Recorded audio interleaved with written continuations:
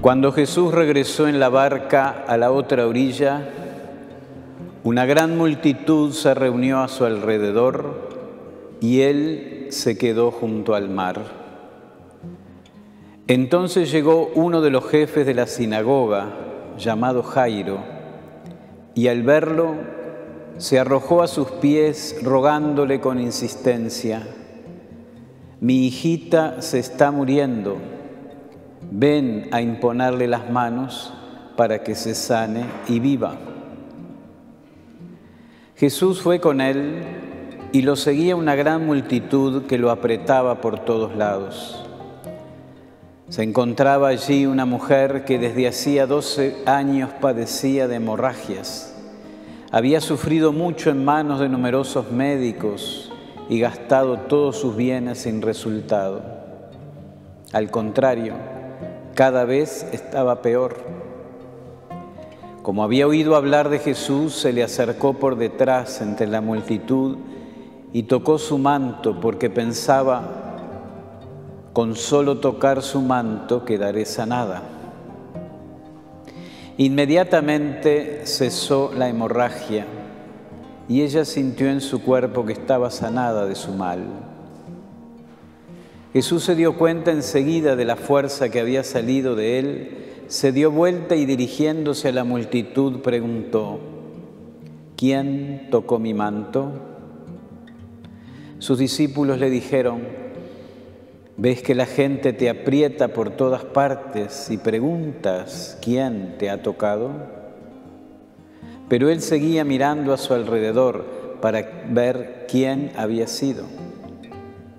Entonces la mujer, muy asustada y temblando, porque sabía bien lo que había ocurrido, fue a arrojarse a sus pies y le confesó toda la verdad. Jesús le dijo, hija, tu fe te ha salvado, vete en paz y queda sanada de tu enfermedad. Todavía estaba hablando cuando llegaron unas personas de la casa del jefe de la sinagoga y le dijeron, tu hija ya murió, ¿para qué vas a seguir molestando al maestro? Pero Jesús, sin tener en cuenta esas palabras, dijo al jefe de la sinagoga, no temas, basta que creas. Y sin permitir que nadie lo acompañara, excepto Pedro, Santiago y Juan, el hermano de Santiago, fue a casa del jefe de la sinagoga. Allí vio un gran alboroto y gente que lloraba y gritaba. Al entrar les dijo, ¿por qué se alborotan y lloran? La niña no está muerta, sino que duerme. Y se burlaban de él.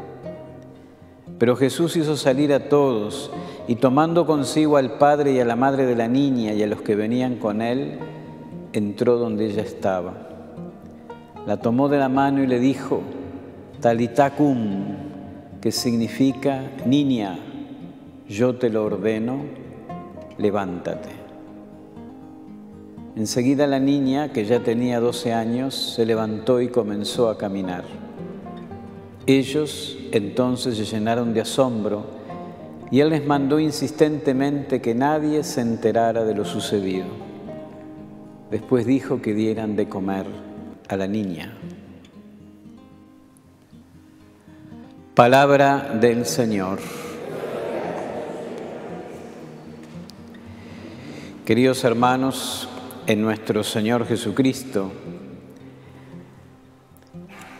ayer decíamos que el rey David es uno de esos personajes que a nosotros nos tiene que interesar y nos tiene que interesar mucho porque, porque es uno de esos personajes que nos enseña cosas hermosísimas. Ayer, por ejemplo, nos enseñaba y nos recordaba a todos nosotros lo que era el santo temor de Dios. Hoy, en esa primera lectura que escuchamos, una vez más eh, David nos va a mostrar por qué a Jesús lo llaman Hijo de David, por qué ese título. Y es que cuando leemos a David, en, el Antiguo Testamento, nos damos cuenta que el corazón de este rey desconcierta, desconcierta más de una vez, por ejemplo, a aquellos que están fascinados por el poder, a los que están fascinados por la riqueza o por la victoria, a los que no están fascinados por Dios, como sí lo estaba David. Ellos no entendieron por qué este muchachito, David, que era muy débil y muy pequeño, logró sí la victoria sobre, ¿se acuerdan?, el gigantesco Goliat. Y menos entendieron por qué, después de haber obtenido esa victoria, simplemente entra al servicio de Saúl. Y cuando Saúl cambia el corazón y cambia las preferencias y empieza a perseguir a David, muchos no entendieron por qué David le perdonó la vida por lo menos dos veces. Y luego tampoco entendieron por qué cuando Saúl muere en batalla, cuando Saúl muere en batalla, David se lamenta de que haya muerto el ungido del Señor. Ahora Joab, el jefe del ejército y los soldados que están a las órdenes del, rey David, tampoco entienden en el pasaje de hoy por qué David, en vez de alegrarse de que ha muerto su enemigo, se entristece de que murió su hijo. El corazón de David es entonces desconcertante y la verdadera grandeza de este rey está precisamente en su extraña manera de amar. Y esa extraña manera de amar, en cierta manera, preludia, podríamos decir, adelanta, anticipa lo que será la obra de la gracia tal como, aparece después en el Nuevo Testamento. Ese respeto esa veneración casi infinita que tiene David por la unción de Dios, por la bendición de Dios, esa conciencia de que cuando se comete falta, cuando se comete pecado, se ofende a Dios, que por encima de los odios, de las intrigas, de las codicias, de las mentiras, por encima de ese tejido de todas las relaciones que tenemos con nuestros hermanos, Dios es el gran ofendido en el pecado. Y por eso aquel salmo que se le atribuye entre todos, el Salmo 51, que se le atribuye a él, que dice, contra ti, contra ti solo pequé. Bueno, ¿qué es lo que está indicando todo esto? Está indicando que en el corazón de David sucede algo que ciertamente no se repite luego en los reyes ni de Israel ni de Judá. Está indicando que en David hay un algo extraño, que es ese amar a Dios sobre todas las cosas. Ese tener como el sentido de Dios, ese buscar todo el tiempo la mente de Dios, ese respetar su presencia, su revelación, su unción, ese desear su inspiración. Que efectivamente Dios y el creer que efectivamente Dios puede dirigir el curso del pueblo. ¿Se acuerdan que buscaban un rey que fuera delante? Son estas características profundas del corazón de David las que hacen de él el verdadero modelo del rey de Israel. Son estas características de David las que hacen, lo hacen tan cercano al verdadero David, que es nuestro Señor Jesucristo. Y en el fondo son ellas las que muestran por qué en el reinado de David tenemos lo que quizás sea la mejor aproximación a lo que es el reinado de Dios. Pequeña sorpresa se llevan sus acompañantes. Pero a David parece no importarle la opinión de la gente. Que él perdone a Saúl, ¿por qué? Porque es el ungido de Dios. Que él llore la muerte de, ¿se acuerdan? De Jonatán, que pudo ser su gran rival en la búsqueda del trono. Que él en vez de alegrarse se entristezca por la muerte de Absalón. Estas cosas no le entiende la gente que lo rodea. Estas cosas están en la soledad y en la intimidad de ese rey, el rey orante, que parece que solo le importa la mirada de Dios. Por eso, por todo esto, uno podría decir que David, fíjense, es casi cristiano. Que en David ya como que despuntan realidades que son eminentemente propias de la acción del Espíritu Santo concedido por la Pascua de Cristo. David es una de las mejores aproximaciones hasta dónde se puede aproximar un hombre del Antiguo Testamento. Es una de las mejores aproximaciones a ese hombre cristiano que nos propone el Nuevo Testamento. Esto es un hombre que recibe la unción de Dios y cree en ella.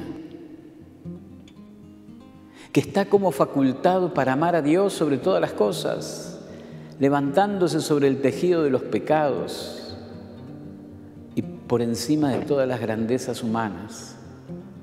Un hombre que puede poner en primer lugar el amor, la fidelidad, la poesía, la belleza, más allá de la riqueza o de todas esas condiciones que trae el poder. Y por eso, en el fondo, el pueblo de Israel sabe que si alguien puede guiarlos, si alguien puede regirlos, es un hombre que tenga el corazón como el corazón del rey David. Esto en cierto sentido explica el alcance de la profecía que Natán le ha hecho a David. En un momento Natán le dice, porque David quiere construirle una casa a Dios, y Natán le dice, no eres tú el que le va a construir una casa a Dios, sino que es Dios el que te va a construir una casa. Y de esa manera el Señor estaba como anunciándole que esa unción propia que había recibido él como rey, de alguna, de alguna manera se va a prolongar en toda su descendencia. Y por eso el pueblo sabía en su corazón que solamente un hijo de David, que solo un descendiente de ese rey, por ser quien es, solo un descendiente de este David podía realmente dirigir los destinos del pueblo en concordancia con el querer del corazón de Dios. Y ese es el hijo de David que espera el pueblo de Israel y que de la manera más sorpresiva, porque en David y en su descendencia todos son sorpresas, de la manera más sorpresiva, ese hijo de David va a aparecer en el humilde hijo del carpintero, en Jesús, Jesús de Nazaret. Él es el verdadero David, el que pondrá infinitamente más que el primer David, pondrá el amor de Dios sobre todas las cosas. Este es Jesús, el que parece estar mirando solamente al corazón de Dios. Este Jesús, el que no solo respeta como David, sino que administra la unción de Dios que obra con infinito poder en él. Este Jesús, el que sabe ponerse en el primer lugar cada vez que el amor es lastimado. Este Jesús, el que hace milagros que no son ostentosos, pero son suficientemente claros como los que nos muestra el Evangelio de hoy. Este Jesús, que es al mismo tiempo la manifestación plena de quién es Dios y la manifestación de esa infinita sencillez y de esa perfecta humildad que hace de Él alguien tan, pero tan cercano a nosotros. Este Jesús, el que nunca llega tarde para atender a sus hijos, como hoy, a esa niña, aún en los casos que parecen extremos. Este Jesús, el que llega siempre, aunque sea de modo misterioso y oculto, en el momento oportuno de nuestra vida.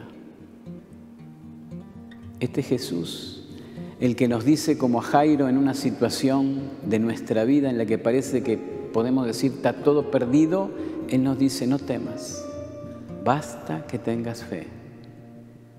Este Jesús, aquel que nos da una singular fortaleza y una especial serenidad ante tantos acontecimientos y dificultades en las que nos sentimos a veces inseguros y con mucho miedo.